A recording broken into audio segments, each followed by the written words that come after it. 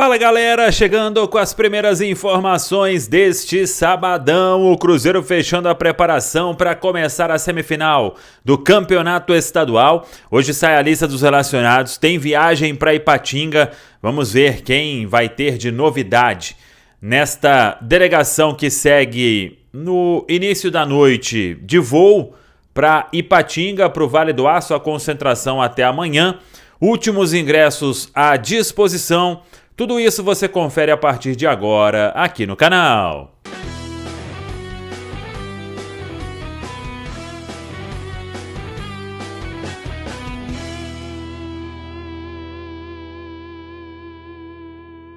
Vamos lá, pessoal. Antes, aquele pedido sempre importante para você deixar o like. É só clicar aí no joinha, você vai curtir o vídeo. Você que ainda não é inscrito no canal, faça a inscrição.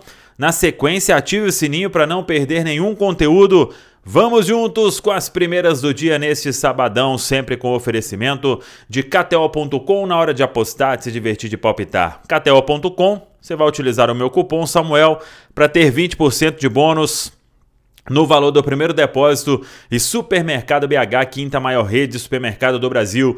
Tem sempre um pertinho de você. Amanhã essa camisa aqui vai ter a estreia. O Cruzeiro devendo jogar de camisa azul calção branco e meia branca. Um uniforme mais do que tradicional e que seja uma estreia vitoriosa do uniforme da temporada de 2024. É o time do técnico Nicolas Camon começando este mata-mata de semifinal. Lembrando que o Cruzeiro tem a vantagem de jogar por dois empates ou vitória e derrota pela mesma diferença de gols e, além disso, vai decidir no outro final de semana no Mineirão.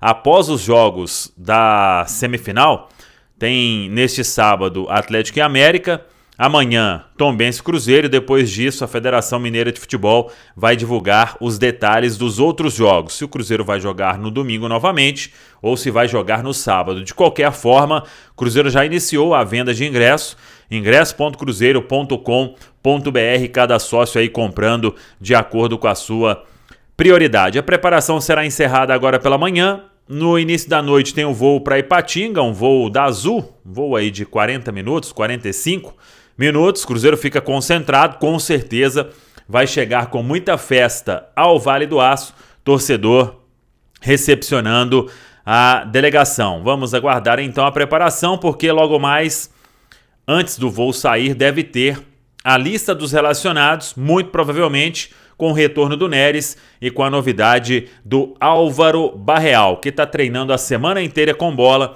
e devendo ficar à disposição do técnico Nicolas Camon. Vamos ver se ele faz alguma mudança. Não acredito.